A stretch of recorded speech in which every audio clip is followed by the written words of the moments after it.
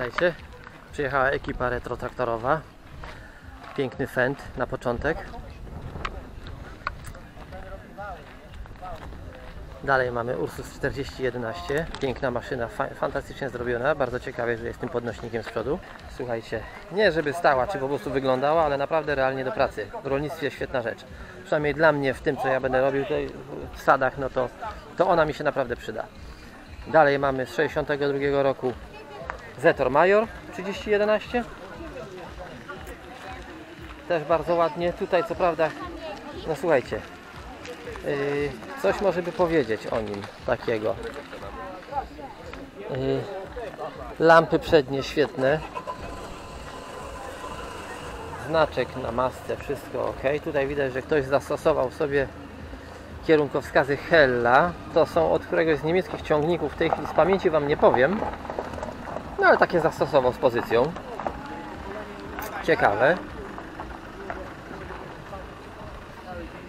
No tradycyjnie tradycyjnie tyle lampy od Rususa C330.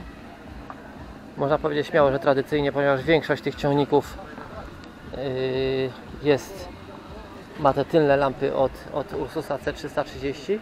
Być może dlatego, że, że właśnie mają y, i światło opozycyjne, i światło stopu, i kierunkowskaz, co jest po prostu dosyć łatwe y, do poruszania się takim ciągnikiem. On zresztą jest zarejestrowany, więc tutaj wiadomo, że taka sytuacja y, no, sprzyja montowaniu takich, takich właśnie lamp.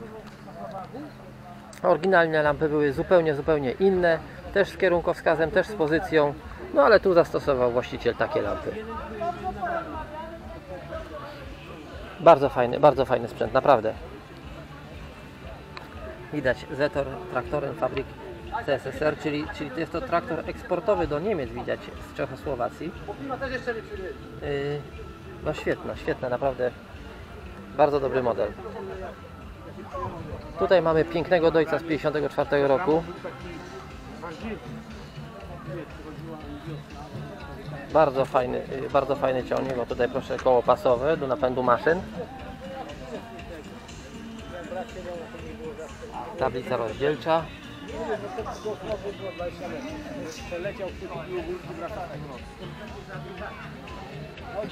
Lampy są bardzo ciekawe. Bardzo ciekawe lampy, słuchajcie, Hella.